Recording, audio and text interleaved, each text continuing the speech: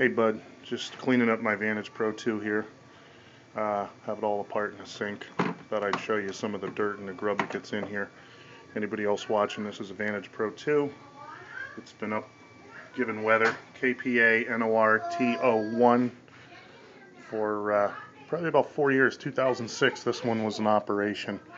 And I got all my parts over here disassembled. It's December 11th still nice out so just before the winter I'm gonna get it all cleaned up. Took the rain cone off was a little actually a little dusting of snow in there this morning. But this is pretty interesting. This is the uh, regular aspirated radiation shield and this will show you some of the dirt that gets in here. I opened this up and I thought this can't be good. I imagine somehow it affects the readings I think that's time to take it apart and clean it up. It's probably not going to be up till tonight, but there's a little spider in there.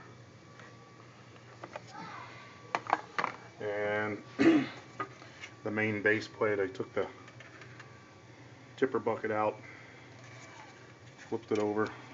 A lot of bug stuff in here. Right down in there, it looks like something, bees or a bug, a little nest. And a tipper bucket just filled with filth. Time to clean it up.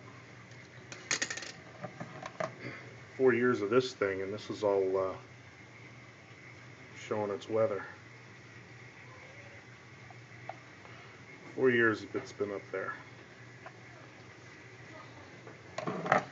And another little piece of plastic that holds the printed circuit control board on. And then last but not least, I have the tipper bucket assembly.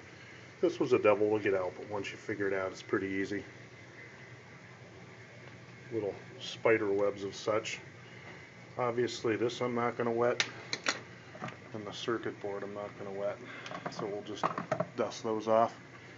But washing everything else up, should have it assembled. Clean it all up. This is the official station for KPA NORT1 on Weather Underground. Take another shot after I get her cleaned up.